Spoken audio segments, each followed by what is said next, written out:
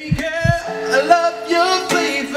happened You like shallots. Man, why you ask so many questions, man?